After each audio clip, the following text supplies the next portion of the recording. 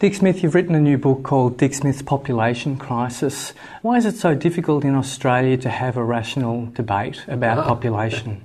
Well, first of all, we're addicted to growth, but when I speak to the politicians, it's quite interesting. Most of them blame Rupert Murdoch, of all things. They say, oh, if I mentioned anything about population or the fact that we can't always have growth, the Murdoch press will attack me. And it's amazing how I don't think Rupert would realise the power he has in, in effect, in intimidating politicians from talking freely. Do you think it's legitimate for a news organisation to push a line in the way that, for example, The Australian does? I think it's quite unusual in the way that Rupert Murdoch actually has decided that climate change is a real problem and he's going to the considerable expense of making News Limited carbon neutral. So he's certainly, and that's going to add to costs without any doubt, but his editors for some reason attack anyone who supports Australia becoming carbon neutral. So I think that's hypocritical and I don't, I think it should be communicated that there's hypocrisy there. I want to just pull out to, to a global context because your book's very much about uh, population growth as a global issue. It's forecast that the world's population is set to reach around 9 billion people in, in 2050. Do you think we'll ever reach that figure, or do you think that resources depletion, oil, food, commodity shortages will actually, actually limit this growth? It's interesting. My book, as you rightly say, talks about 9 billion. In fact, the United Nations has revised the figure to 10 billion. And uh, before they believe we're going to start sort of curving down or possibly we'll run out of food. Um, I, I think the world could get to 9 billion because as long as we keep getting oil out of the ground, and we've probably got another 50 years of doing that, we can convert oil into food. And so there's a chance you can have decent populations. Also remember that something like over 1 billion of people are malnourished and probably 3 billion uh, basically live on a few dollars a day. So that's the only way we can do it. If you wanted everyone to live at our material standard of living, it'd be equivalent to having 20 billion people on this earth, and that'd be completely unsustainable. I guess in the meantime, the fastest way to reduce global population growth is actually to educate women in the developing world. Can you explain this link briefly? Once you educate people, especially young women, and uh, especially if you give them control on their own fertility, they make sensible decisions. And I'll give you an example. Uh, in Japan, they actually have a reducing population. It's predicted to go from 120 million to about 90 million by 2050. And that's purely because young women in Japan are just not having as many kids. Now, the Japanese government is paranoid about this. They've got $20,000 baby bonuses, and it's still having no effect. And I think the real reason is that Japanese women are sensible. They realise that Japan's a small country, that there's probably going to be food shortages, and they tend to have less children because of that. Uh, my belief is once you raise the standard of living of people to be able to empower them to make their own decisions, they make sensible decisions. But how do you raise the standard of living in, in developing countries, which I think you need to educate women? How do you raise the standard of living without increasing the resources use globally to a, dangerous degree? I covered that in the book. It's a real quandary. And in fact, what we're going to have to do is raise the standard of living in third world countries then to stop the growth. And that's going to be very difficult. Uh, without any doubt, they're going to be using more resources. So it's a short term peak to get to a long term gain. Alternatively, which I think could also happen, is that the marketplace basically decides. And in that case, it's a bit like whether we're like locusts. Locusts breed in billions and then die in billions of starvation, and possibly that's what we could be like. I canvass in the book that maybe because we're relatively intelligent, we can make a decision to not have that huge drastic effect. I'm not sure. I would love to see us have leaders who can stop the growth and live in balance, but I'm not sure if that'll happen. There is another way that global population may decrease for us. I guess arguably peak oil will reduce the global population and reduce the climate change risk in the sense that global population growth has been tied to oil production for about 100 years. Do you think there's any likelihood that, that this will have a major impact? Well, it will be a drastic one. You're absolutely correct. If you remember, people like Paul Ehrlich predicted that there would be starvation in the Western world in the 80s and 90s. They were wrong because they underestimated our ability of turning oil into food. And that's through fertiliser, of course, and big farming machinery. Now the oil's going to run out. We're very close to peak oil, or if not past it, oil will run out. I think future generations are going to say to us, what? You used the oil that we needed for food, you used it to fly to Bali for holidays? Why didn't you holiday in Australia and leave some of it for us? That's how selfish we are. But the most important thing in my book is not so much population, it's the fact that we have an economic system that's unsustainable. So you have our government talking about sustainable population and so forth. No one is game to admit that an economic system which is based on perpetual growth in the use of resources and energy, which ours is and the Western world's is, is not sustainable for a start. So you actually have to change the economic system.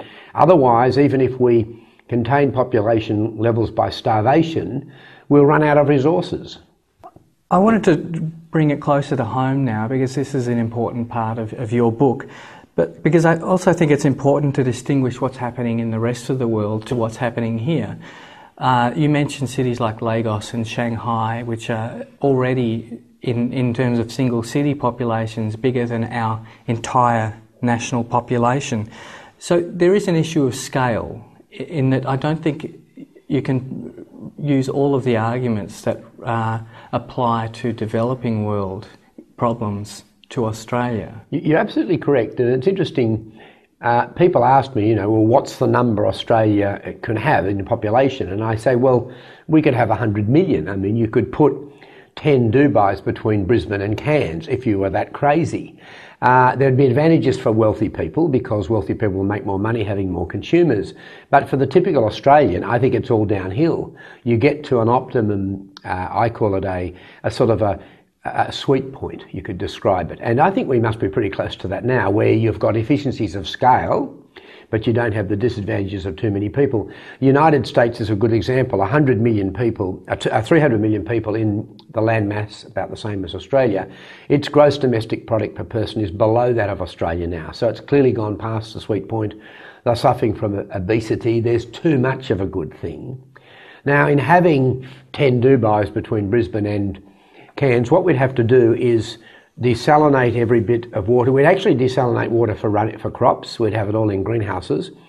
We would have to use every bit of uranium we have for nuclear energy to generate uh, that, the power for the desalination. I once again I go back. What would the advantage be for typical Australians? I believe there would be no advantage. I think a lot of the issue with population growth in Australia is born out of also the the growth in particular parts of Australia, as in the western suburbs of Sydney, the outer suburbs of Melbourne. But there's surely a lot to be gained from uh, moving the resources around and fixing infrastructure in regional areas. For yes, I don't agree with this, but it is a very common belief that we don't have too many people, we just have too many people in some places. And if we end up with large amounts of pity, uh, people away from the, the coast where we cling. Now, here are the problems. First of all, we are an arid country. We don't have a rocky mountain range through the centre of our country, which in the United States generates the most extraordinary amount of water for the Mississippi River and for the Colorado River, and that allows huge inland cities. We don't have such a mountain range. We're basically arid. The, the reason that uh, people don't live inland, first of all, it's dry. There's not a lot of water there. There are not many jobs there. Would we be able to create jobs inland? I'm sure we would, but why would you want to? See, it seems to be this obsession that you have to have growth, and, and at the present time we do. Uh, we'll go into recession if we don't keep using more resources. The point I bring out in the book is one day you actually have to run without exponential growth in the use of resources and energy. I think we should plan for that now, not later. In the meantime, though, I think uh, if you look at Australia in comparison to other nations in the world, we're one of the world's richest, we're one of the world's least populated and best fed, also per capita amongst the most watered countries in terms of water usage.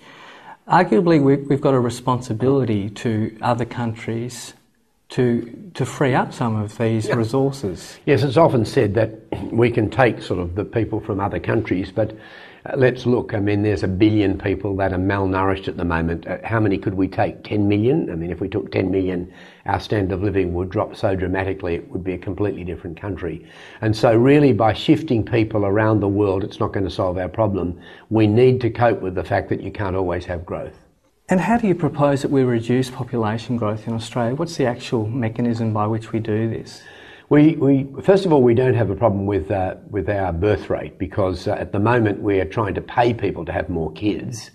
Uh, I think that should be removed. If you re- remove the baby bonus, Australian families make pretty sensible decisions, and even though some have six or eight kids, on average we have about two kids, and uh, that's really sensible. Uh, to top the growth rate, I would suggest bringing the immigration rate from around about 280,000 a year down to about 70,000, which is quite high per capita by international standards, but it will tend to allow us to stabilise the population, which I think is a good idea because I think the whole world has to stabilise. If you look at nature, um, it's interesting how most of the creatures in nature live in this most wonderful balance. I happen to love the beautiful uh, lorikeets, the most beautiful birds that we have uh, especially the sulphur crested cockatoo. And you look at them, they're in their small groups. I bet the number we have in Australia is probably the same for the last few hundred thousand years. They've reached this niche in nature. Well, human beings have to do that. Now, we haven't done that at the moment. If you look at the curve, and I show it in the book, it's not a curve, it's a vertical rise. Imagine this it took us over 10,000 years to get to our first billion people, human beings on this earth. We now get another billion every 13 years.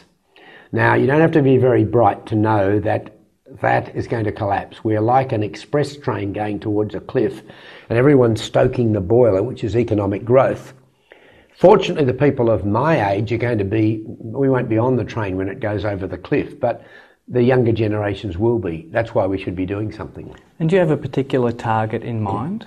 for Australia's population? No, look, I have really no idea. I did mention in the book, uh, I'm a, a, disciple of the Labor backbencher Kelvin Thomson, who I think is talking about stabilising about 26 um, million people.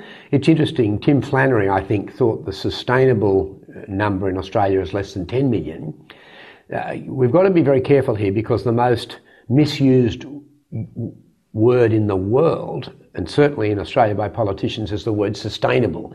They now shove sustainable in front of everything. I've even heard the oxymoron sustainable population growth. There's no such thing. Sustainable basically means that it can be continuing. Now, Aboriginal people have lived here for over 10,000 years, so it's pretty clear that their lifestyle was sustainable. We've been in the modern Australia uh, for 230 years or so. What we're doing isn't sustainable. Fortunately, there's about 5,000 times more energy than we use even at our wasteful present sense, uh, coming from the sun every day. So eventually we'll be able to use energy from the sun for our energy means, but that won't solve the problem of this exponential growth in population. We'll have to stabilise that as well. In the meantime, there's an interesting chapter in your book about food, about the food supplies around the world and the amounts of food needed to feed people. Uh, while the world's poorest people are forecast to grow hungry, as you're saying, in, in, in larger and larger numbers. You do raise the interesting paradox. In, in Australia, we're suffering a, through a, an obesity epidemic in some ways. Uh, we waste extraordinary amounts of food and resources. So I just wondered, rather than advocating for less poor people in the world, shouldn't the first response to this imbalance to rebalance? Yes. First of all, we've clearly gone past the sweet point. We're following the United States now, where we've got an obesity epidemic. That for the first time in the world, with some of these modern Western countries, longevity is actually decreasing. Too much of a good thing, sort of thing. Now, this is a separate issue to the population issue, the fact that the disparity in wealth is so staggering. Now we've got a billion people who are basically malnourished, virtually starving, and then we've got countries suffering from obesity because we've got too much food. That's slightly different to what I'm covering, but it does all go back to the thing that we lost, we've lost the plot. We tend to think, and this has really started in the Second World War, where up until the Second World War, we used the incredible productivity gains of capitalism to reduce working hours because otherwise you'll end up with unemployment. Since the Second World War, when we brought in the measure of gross domestic product, which really came from wartime output, uh, we judge our governments and we judge our company executives from growth by using more, by spending more. And that's ridiculous because, first of all, perpetual growth is like a perpetual motion machine. It's impossible. In the end, it must crash. And to me, we've forgotten about equity. In other words, some countries are incredibly wealthy while people are very poor. We've got to rebalance the whole thing. My belief, and I cover this in the book, is that we can have a fantastic system here that lives in balance, that doesn't rely on this exponential growth in the use of resources and energy. Coupled with that, we're going to have to spend more money in assisting third world countries in raising the education of people because then the population growth level will go down. Then they'll be able to feed themselves and have a decent amount of food and be able to be kept warm, which to me is a basic human right. Would you give primacy to, to the argument that the need to rebalance the use of resources around the world to reallocate is stronger than the need to reduce population growth in, in these countries? No, I think both has to has to be done at the same time. But I think the thing we should be doing in the Western modern world is getting rid of our growth addiction, because the, the, the, what we've got at the moment is clearly unsustainable, and no one's game to admit this. In other words, the government's saying sustainability, is sustainability, but our basic economic system, based on perpetual growth, is not sustainable. And you've got to get someone to admit to that. I can't get any politician to say it. I met with both the leader of the opposition, Tony Abbott, and then with Julia Gillard before the election, and I said, Look, will you do one thing for me? Will you just tell the Australian people that we can't always have growth in the use of resources and energy? And they both, in their political way, basically said, in effect, I couldn't say that. In other words, we're supposed to be so stupid as a population, you can't have a leader telling you the truth. And I'm not saying that you can stop this growth immediately. We will have recession, without any doubt. There'd be people out of work, terrible things would happen. But it needs to be planned for. And if it's planned for over a number of generations, or at least decades, as I've shown in the book, we can have a fantastic system of capitalism, but one that lives in balance. We'll still have growth, but the growth will be in quality of life. It'll be in growth in efficiencies growth of using energy from the sun rather than digging it up in the ground. But it'll be a different type of growth. Now, in the meantime, we've got to allocate more money and we'll have an excess of money because we won't be building, grow, uh, uh, producing as much stuff that's not necessary. We can then use that to distribute to so-called third world countries to raise their standard of living. Then their population growth will drop. I just wanted to touch on, uh, I guess, it's an issue that you hold off until later in the book, and there's a good reason for it. It's, it's an issue that needs a lot of time to discuss. Climate change is, is a part of all of these problems Absolutely. to some extent. Uh, and you write that it's a problem that is exacerbated by rapid population growth, and there's no way on earth that the earth can support in developing countries people living the way that we live in the West, as in there's simply not enough resources for everyone to live the way that we live. So, again, I, I would have thought that in some ways we need to look at our own consumption rather than limiting the growth in, in other countries. Well, it's both, but it's interesting. Can you imagine uh, all the government people went off to Copenhagen to discuss human induced climate change? But they didn't mention the elephant in the room humans. No one mentioned population. I was looking for someone holding up a sign, population question mark. It wasn't allowed to be mentioned because population is growth, and that's the problem. Now, at the moment, most of my wealthy friends don't accept that humans could be affecting climate. I don't know for sure. Common sense says, seems to me as if you burn up uh, fossil fuels which have been sequestered over hundreds of millions of years. If you burn them up in 100 years, you might affect the climate. I've flown around the world five times as an adventurer at very low levels, at 500 feet in altitude. I've seen the damage that human beings have done to the earth. And even before I'd ever heard of the word climate change, I came back from my solo flight in 1983 and I remember saying, I can't believe that we could do this amount of damage to the earth and, and have no consequences because I didn't know we were having them. So when I heard about climate change, I thought, well, that seems to fit with common sense. And what I find fascinating is that uh, Rupert Murdoch is making all of his companies carbon neutral because he really believes it's a problem. But then you have his media here basically uh, absolutely attacking anyone who thinks that Australia should become carbon neutral. And I have no doubt we can become carbon neutral because we have so much energy from the sun, it's going to be incredibly expensive. Because one of the reasons we have such a high material standard of living is we're using fossil fuels at far lower cost than we should be because they're irreplaceable. Can I just ask, with the News Limited uh, newspapers, most particularly the Australian, why do you think that they have this position regarding carbon pricing? I think there's a complete lack of direction. I think News Limited has got too big. And you only have to look at News Limited. Look what's happened recently. In the United Kingdom, uh, staff of News Limited have been caught uh, criminally tapping phone lines. And uh, I think News Limited allocated $30 million for compensation. Now, Rupert Murdoch would never have allowed that if he knew about it.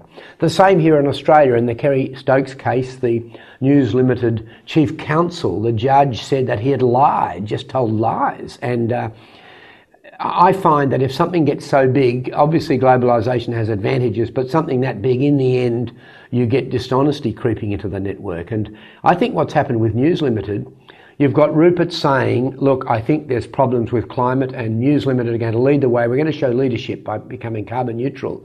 But it's almost as if his editors don't know that. And instead of showing any leadership, what they're doing is just beating up everything to try and get the maximum circulation. Now, that might be good for making a dollar, but it's certainly not good for the future of our country and our world. And I'm trying to motivate Rupert I've said, look, you've made $6 billion.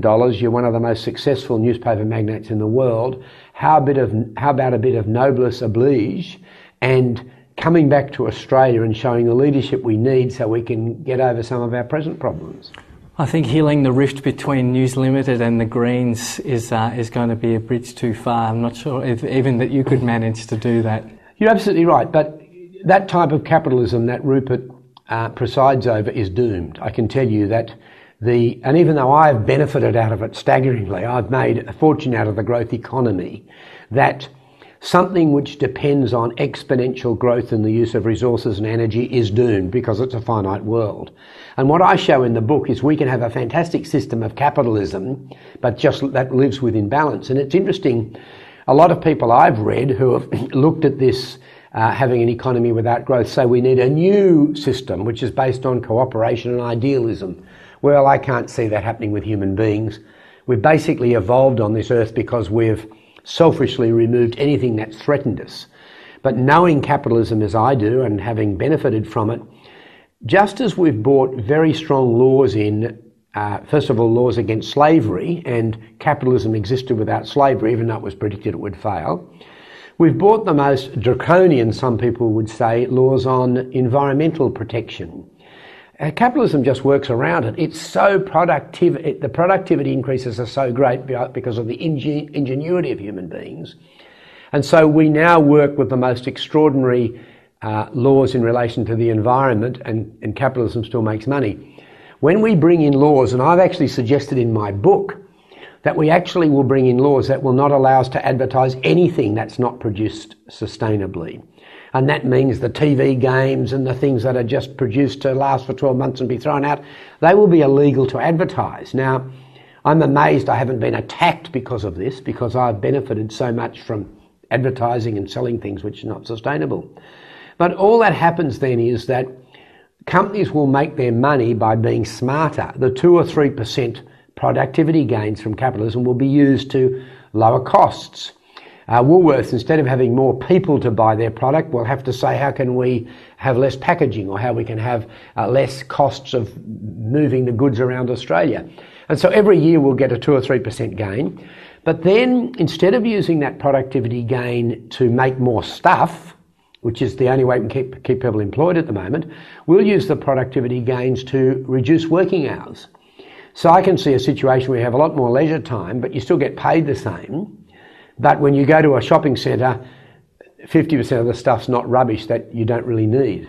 I think inevitably, though, there'd also be a, a, a gradual decline in, in our sort of way of life, in the sort of leisure activities that um, that people have now. You know, we live in houses which are gigantic with several televisions.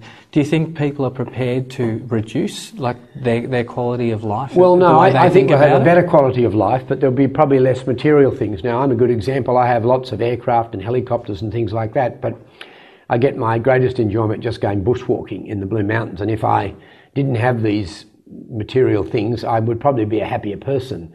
I have some very wealthy mates. One, one's who's nearly a billionaire, but he's so miserable. And it's amazing. He doesn't give anything to charity. He's really got a chip on his shoulder. And he's, he, he would be a lot happier if he could be more generous if he had less money. So don't think this search for material wealth is the end all of everything. It certainly isn't. I've just got one final question. It's about uh, it's about the coal industry in Australia. It's very significant part of uh, of our economy. It's also a major contributor to climate change.